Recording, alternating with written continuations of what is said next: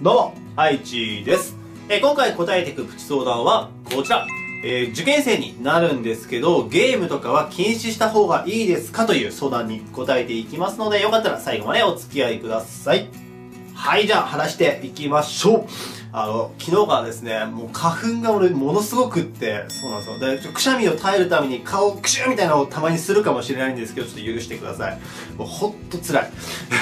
で、え今回はですね、特に今中2と高2、今度ね、受験生になる学年の子からの相談が多いとこなんですけど、まあこういうね、そのプレステとかさ、スイッチとか、まあこういう系のゲームだったり、まああとはスマホだよね、今ね、スマホのゲームだったり、で、女の子で多いのは、アニメ見るとかさ、その漫画読むとか、あと YouTube 見るとかもそうだね。だから自分にとって娯楽っ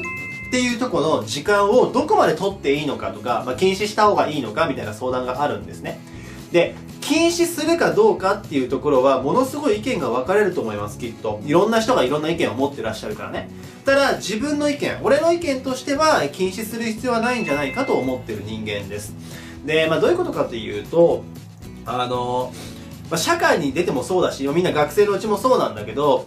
メリハリをつける能力って自分はすごく大事だと思っていて、やるときはやるけど、遊ぶときは遊ぶよ。そのメリハリね、スイッチのオンオフの切り替え方っていうのは。で、まあ勉強しててさ、普段も、例えばテスト勉強するときもそうですけど、やっぱりスイッチを入れなきゃいけないときあるじゃん。勉強机に座ってるけど、スイッチが入ってない状態ってあると思うんだよね。全然集中できない、やる気が出ねえみたいな。でも逆にスイッチが入った時ってものすごい集中できたりとか強いよね。で、そういうのをコントロールするのって、ね、コントロールする能力っていうのは、その勉強するって時にすごく養われるものだと自分は思っていて、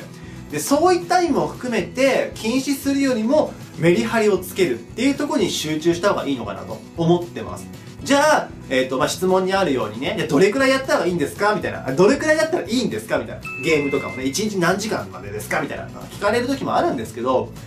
まあ、それは、その個人によるんじゃないっていう感じです。だって1時間だったらいいよなんてさ、みんなに該当するわけじゃないじゃん。みんなが目指すとこも違うし、今の成績からそのたどり着かなきゃいけない成績までが遠ければ遠いほどさ、そのメリハリというか、ゲームに避ける時間は減るはずだから、物理的にね。だからこれまでここぐらいっていうのはないんですけど、自分逆に、あの、まあ、よく言うようにね、その勉強する習慣っていうのはすごく大事だと思っていて、あの、一日ね、一週間のうち一日めっちゃやるんだったら、毎日欠かさずにちょっとずつやってくれ、みたいな。毎日やること、毎日繰り返すことがすごく大事なんだよっていう人間なんですよ。俺のタイプとしては。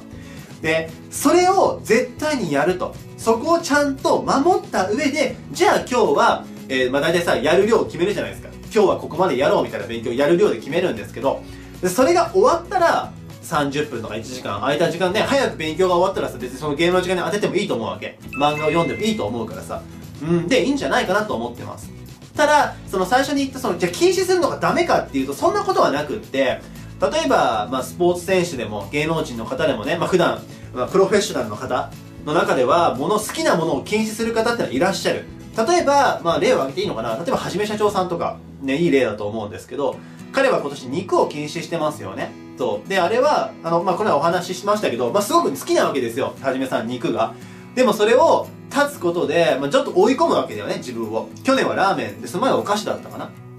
だからそういった意味で、立つ、もう禁止っていうことにして、もうスパッてしてしまって、その方がメリハリがつきやすいっていう方もいらっしゃると思う。うん。だから、やってもいいよ、やっちゃダメだよってメリハリよりも、スパンっても禁止してしまった方が自分の中ではいいと。すっきりしてやりやすいし、モチベーションも保ちやすいんだったらそれでいいと思います。ただ、